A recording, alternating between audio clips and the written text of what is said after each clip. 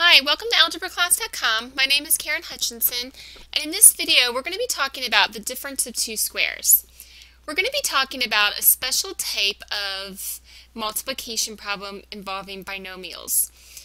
When you multiply two binomials that only differ by their sign, this is called the difference of two squares. It's going to be a special formula that we can use to multiply these two binomials without having to use FOIL or another method.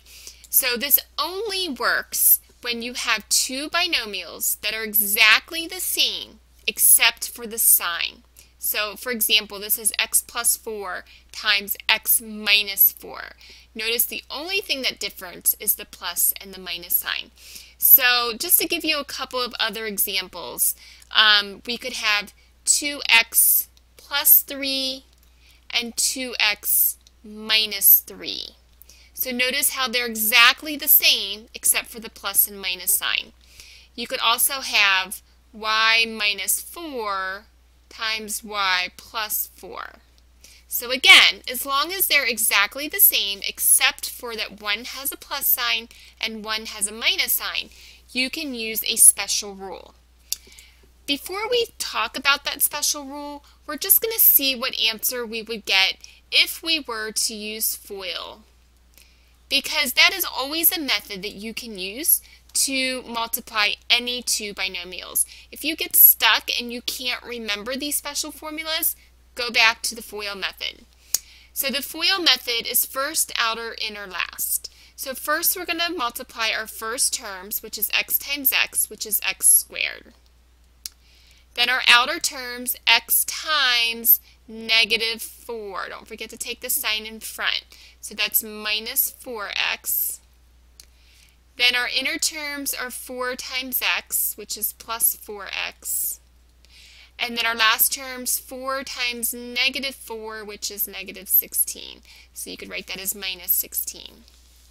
So now if we combine our middle terms, as we normally do with FOIL, we get x squared, and then this is the same as negative 4x plus 4x, which we know is 0. It's pretty much eliminated. And then we just have minus 16 left.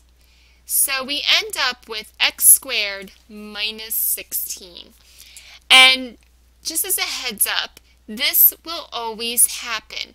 If you have the same exact binomial with different signs, the middle term will always be eliminated. It will always equal 0. So we end up with the first term squared and the last term squared. Okay, so that's exactly what the difference of two squares is.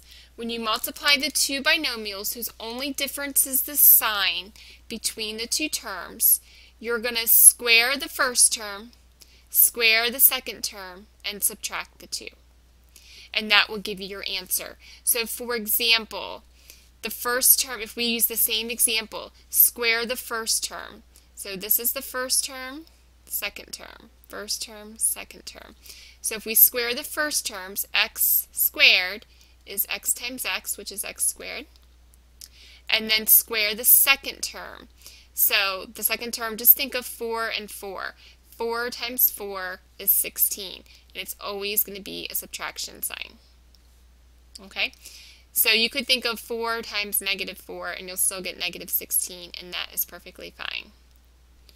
Okay, so that is the rule. If you can just remember, if they're exactly the same, except the signs that are different, square the first term, square the second term, subtract, that's the answer. It's a very easy formula to remember.